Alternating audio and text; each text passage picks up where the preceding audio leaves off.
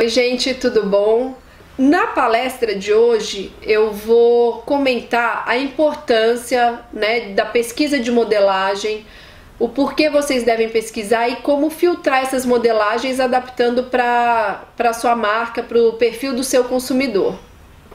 Então, o que, que eu defendo? É, existem as modelagens que já são básicas, né? É, os best sellers ou os que têm o, o bate-caixa garantido, né? Que são produtos básicos que vocês sempre têm na coleção de vocês. Isso quando se tratam de marcas que já têm um histórico maior de vendas, né? Não para quem está começando agora. Então, esse, esse tipo de modelagem você deve manter sempre na sua coleção, independente da tendência. Então, se o seu forte, ah, não, tem uma camisa básica que sempre, né, o pessoal sempre gosta, ou uma blusa X, ou um modelo de calça Y, isso você deve sempre manter na coleção de vocês, certo? Então, vocês devem fazer sempre um ranking de venda é, dos 10 produtos mais vendidos na coleção.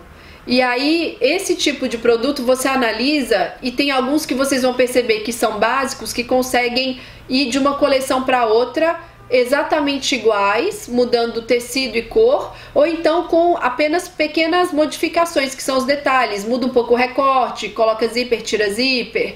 Então esse é um grupo de modelagens que vocês devem manter de uma coleção para outra, de uma estação para outra e, e, acompanhando o desempenho desses produtos, porque se eles continuam com desempenho bom ou até aumentando, vocês mantêm. Se eles começam a cair o desempenho, então vocês vão é, substituindo por outros produtos do ranking, certo?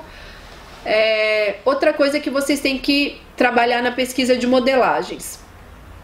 As modelagens que são tendência, por exemplo, chemise, que seria o vestido camisa.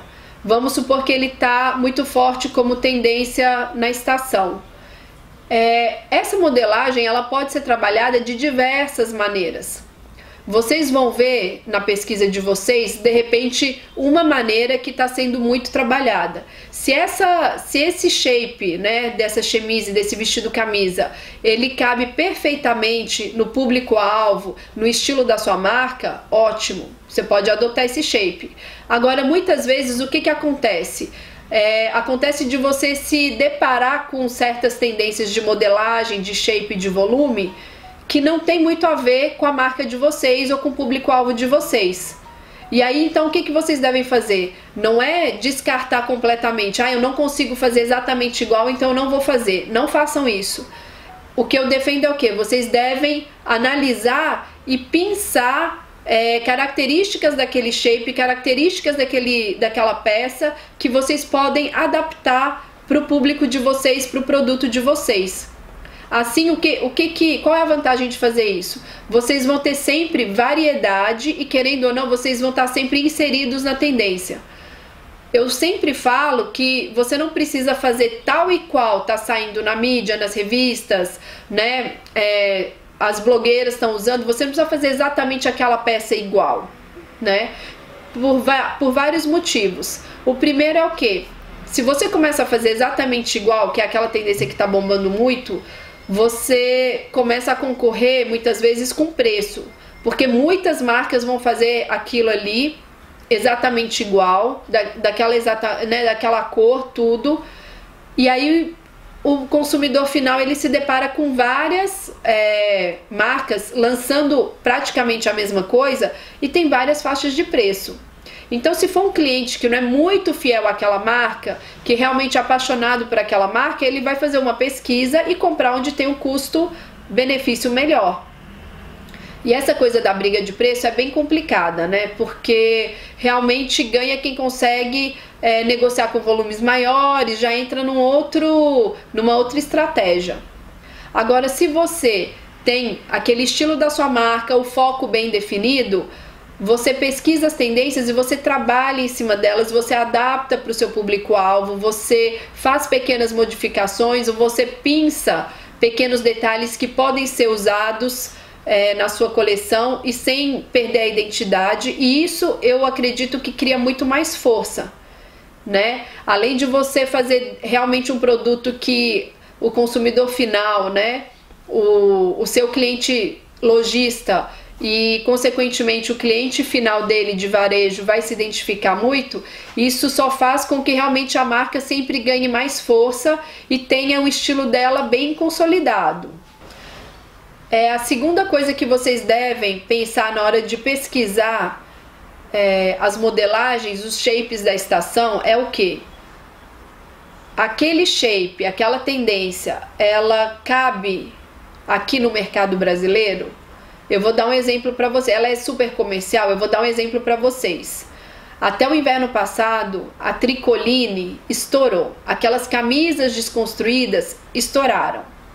Muita gente vestiu, muita gente vendeu, mas no meu olho, que é bem focado para o comercial, que leitura que eu fiz? Foi assim, sucesso de vendas, mas dependia muito do público alvo da pessoa. Por quê? A camisa de tricoline, ela é do jeito que ela costuma ser tradicional ou desconstruída, ela é muito menos comercial do que, por exemplo, a, a moda das batas e das, e dos, das ciganas, daqueles de decote ombro a ombro né, é muito menos democrática, porque a tricoline em si já é um tecido mais armado, mais durinho. Então, assim, qualquer volume que você coloca mais, já fica um volume maior. Se é uma mulher que tem uma estatura, uma composição corporal maior, se ela tem um busto maior, por exemplo, a camisa de tricoline desconstruída, que tem que ser toda solta, ela vai fazer aquela mulher parecer maior ainda, né? E o que, que eu percebo muitas vezes, né? Na maioria das vezes, as mulheres do nosso mercado brasileiro, elas querem se sentir bonitas, elas querem ser valorizadas, elas querem ter os pontos fortes dela valorizados. Não são muitas vezes assim, tem algumas marcas de fora que são focadas em mulheres completamente conceituais, que elas lidam com a estética, com a beleza de uma outra maneira. Elas não precisam se sentir bonitas, elas querem transmitir uma outra mensagem. Então é um outro foco.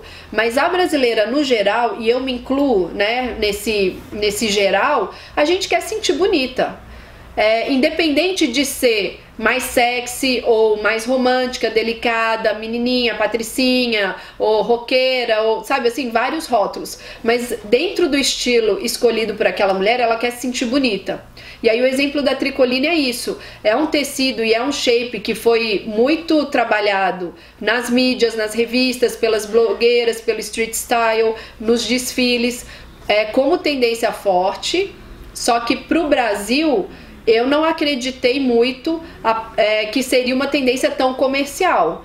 Tanto que, assim, em alguns clientes né, que eu trabalhei e trocando figurinha com alguns donos de confecção de marca, realmente não teve um retorno tão grande quanto, por exemplo, o boom que teve, que tiveram as batas, que tiveram aquelas batas de, de decote ombro a ombro, cigana esse tipo de produto vendeu muito mais do que as camisas desconstruídas.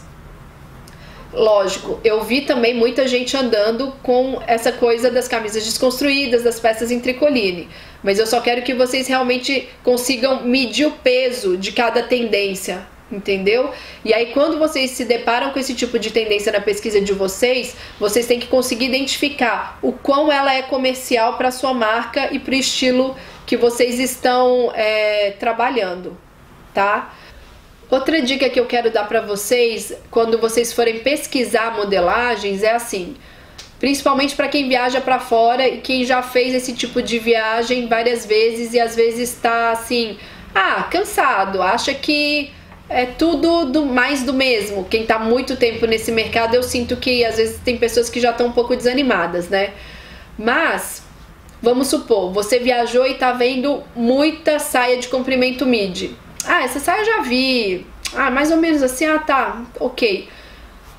O que que eu recomendo? Sempre, quando tem uma peça, realmente aquela lá tá aparecendo em todos os lugares, né? Você viajou, tá vendo em várias lojas, vitrines, escolha uma e compre. Porque o que que muda às vezes da saia midi que foi tendência há várias estações atrás? O comprimento, né?